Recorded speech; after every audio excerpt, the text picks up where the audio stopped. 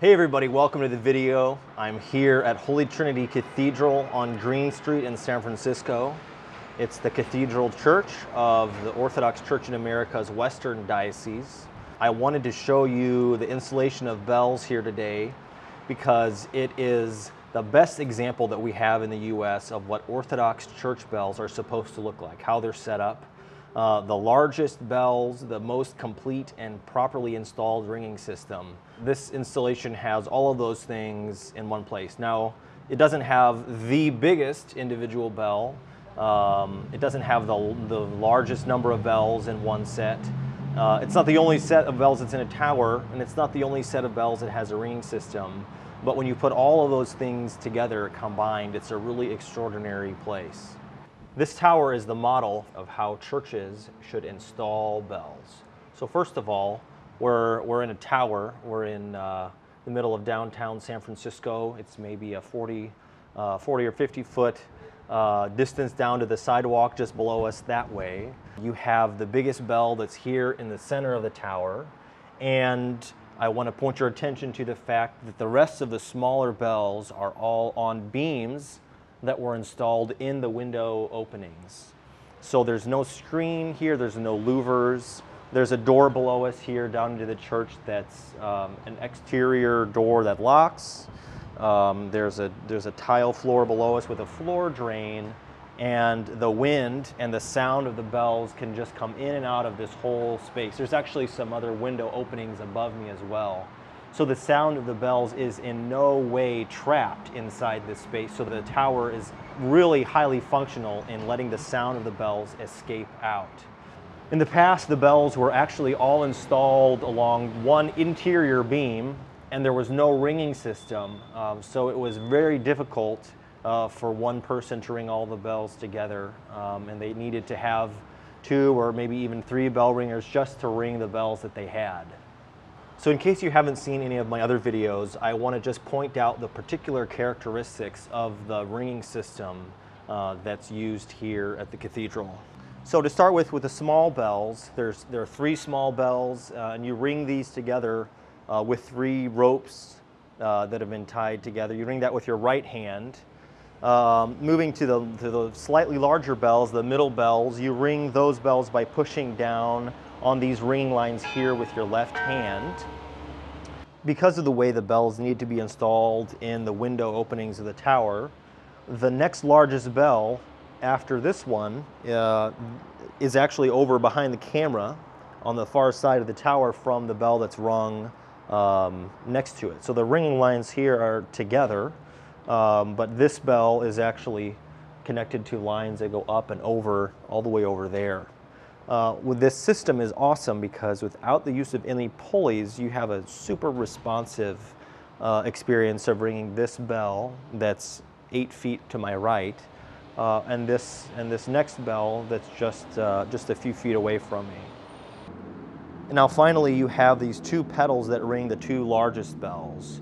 So the very largest bell in this whole set is 2.8 tons and the tongue, the clapper of that bell, is at least over 100 pounds or more.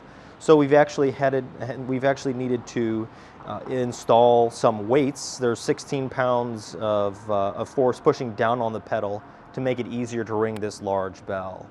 So like I showed you with the middle bell that's over here, that's on the far side of the bell tower from the bell ringer, this second largest bell is rung with a pretty intricate system of um, interconnecting lines, but again without any pulleys, so that when you're ringing the pedal for this bell, it's very smooth and clean action. Um, you don't have any resistance from pulleys or ropes on pulleys or anything like that, so it's super smooth and clean and very precise.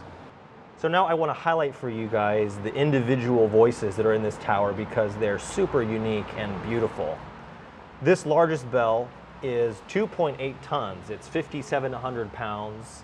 It was cast in 1888 and uh, given as a donation to the American Orthodox Mission, to Holy Trinity Cathedral, uh, by Tsar Alexander III of Russia in commemoration for a miraculous uh, event that happened in his life. He was in a horrible um, trail, the train derailment with all his family, and a lot of people died, but he and his family didn't. So, in thanks to God, Um, he built a number of churches in Russia and gave this bell to Holy Trinity Cathedral here in America in 1888. In addition to the beautiful ornamentation and icons on the bells, there's three bands of inscriptions that run around the outside of the bell. All the inscriptions in the bell are in Russian, but the band here in the middle of the bell uh, says in Russian, this bell was cast for the San Francisco Cathedral of the Orthodox American Mission during the episcopate of Bishop Vladimir at the request of the hieromonk Joel, AD 1888. Here it says the weight of the bell, which is 144 poods and 5 pounds. Now a pood is a is a uh, outdated uh, Russian imperial measurement of weight, which is approximately 36 pounds. And the reason I'm saying this is that uh, if any of you guys uh, do CrossFit, uh, you might be familiar with the pood because uh, CrossFit measures kettlebell weights for different workouts in poods. it's kind of a funny thing. The rest of the inscription around the middle of the bell says uh, it was cast by the Finlansky Bell Foundry in Moscow in memory of the miraculous rescue of the Russian Emperor Alexander III and his most august family on October 17th. The inscription around the top of the bell isn't historical. It's actually a quote from the first ode of the great canon of St. Andrew of Crete, and it reads, He is my helper and protector and has become my salvation. This is my God, and I will glorify him, my Father's God, and I will exalt him, for gloriously has he been glorified. And here is the incredible voice of this bell.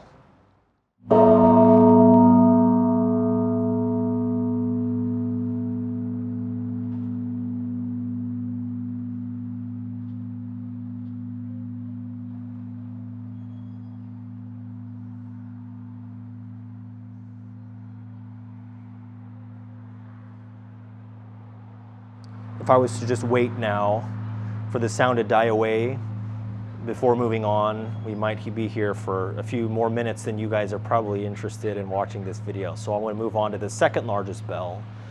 Now the second largest bell uh, was actually recast by an American bell foundry called Garratt and Company that was recovered from other bells that were actually uh, melted in a fire when the, the cathedral burned down in a different location in the past. So it has an entirely different voice from this large Russian bell. It sounds like this.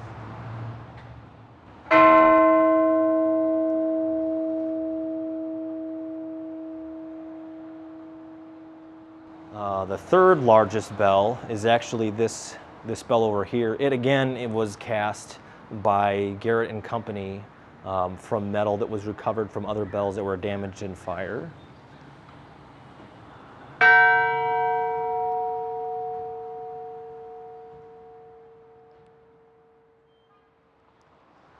The next bell is one of the original five bells that were given by Tsar Alexander III in 1888.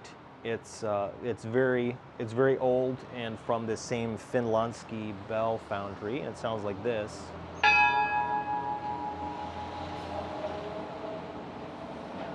Now something that I think is super interesting about the way that this church, the, the set of bells in this church just historically came to be is the fact that this bell here that I just rang and the bell um, that is third largest, so the fourth largest and the third largest, have uh, sort of competing competing voices.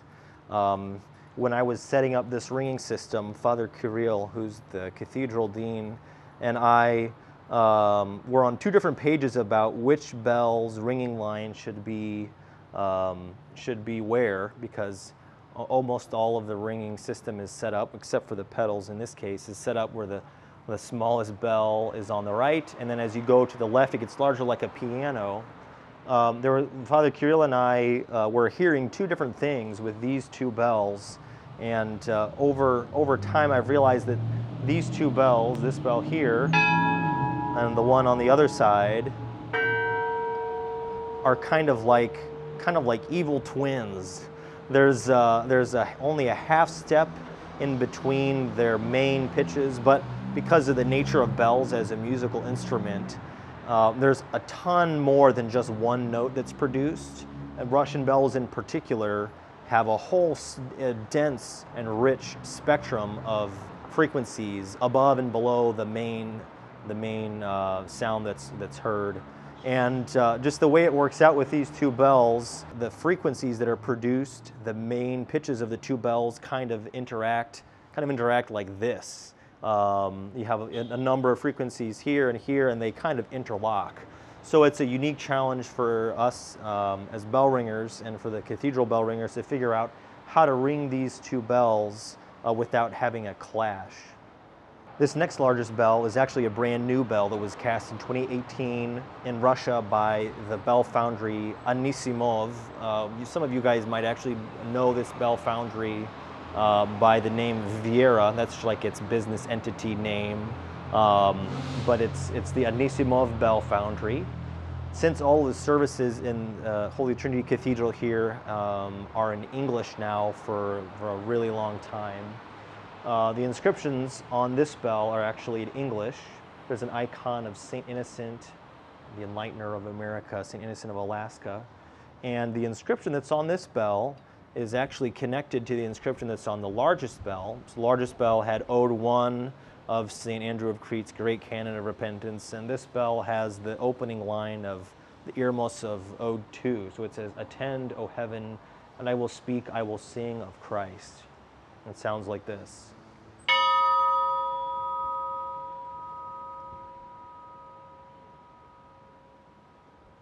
The next smallest bell from that is actually another one of the original five bells that were a gift from the Tsar, uh, from the Finlansky Bell Foundry, uh, and it sounds like this.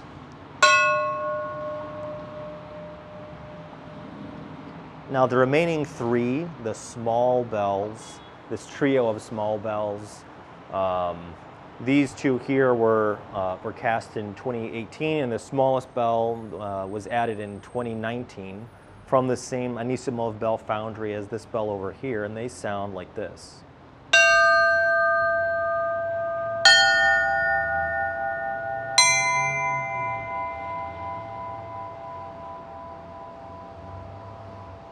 So in Orthodox bell ringing, the individual bells are not valued for the exact pitch that they ring. Uh, we almost never even think about the specific note uh, that individual bells ring because they're not valued for their pitch specificity, they're valued for their rich voices. One of the main tasks for Orthodox bell ringers is to discover the unique characteristics of each bell in a large set like this that was not all cast at the same time.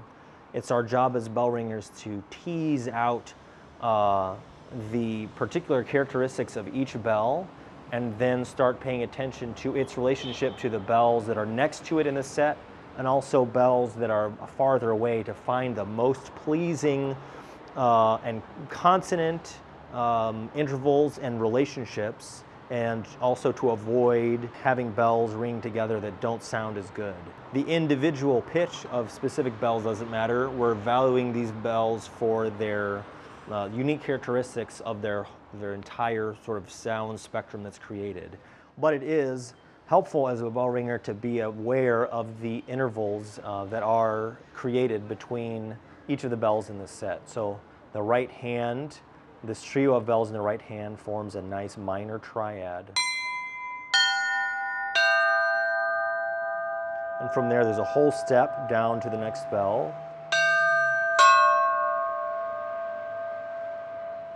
And then another whole step down to the fifth bell.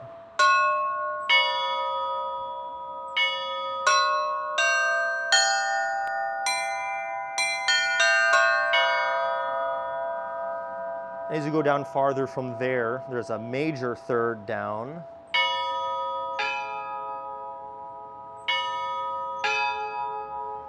And like I've said before, these next two bells together are kind of like evil twins, and you can hear what I'm talking about.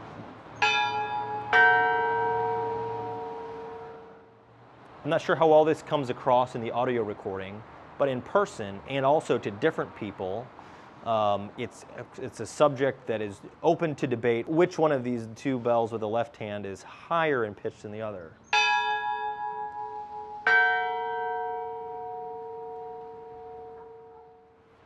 You can actually take advantage of the dissonant relationship between these two bells by spacing them out as part of a larger and logical musical phrase like this.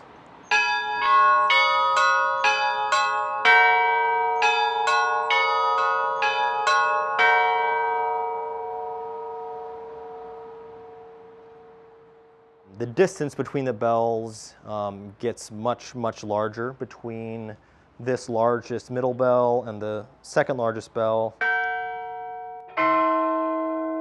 And it's not really functional to worry about identifying which, what interval that it creates. Um, the same thing between the two largest bells.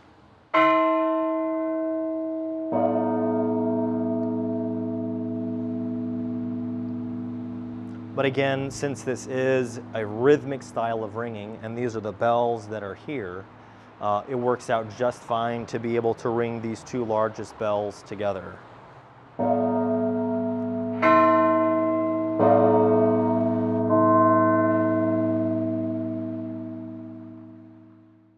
This church, Holy Trinity Cathedral, was founded in 1857 and is the oldest continuing existing Orthodox parish in the lower 48. Um, and although they have some incredible um, historical uh, pieces of liturgical art, um, something that I find really significant about this place in particular is that uh, they have worked really hard uh, that this church not just be a museum of artifacts, which could happen very easily with um, bells like this that are very historical, very old, and very beautiful. Uh, having spent a lot of time here working on the on the bells in the tower, uh, I have to say that the life in Christ here uh, is very transparent.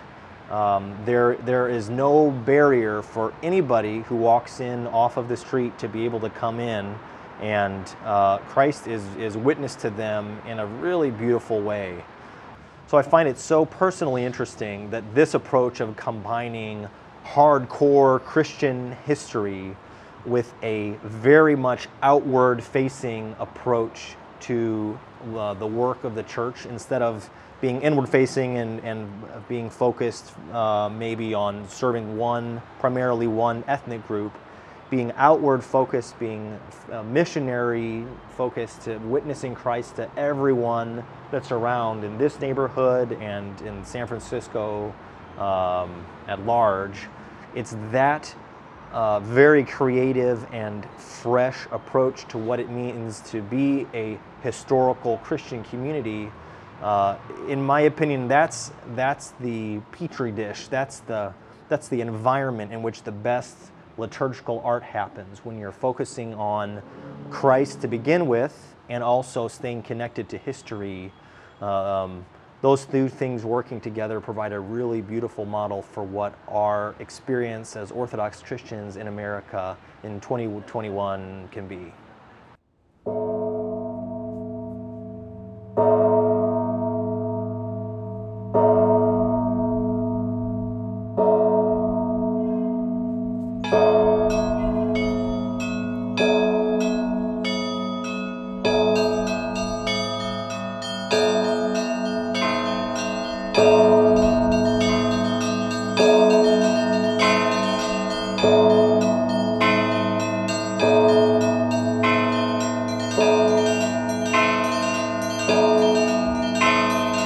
Thank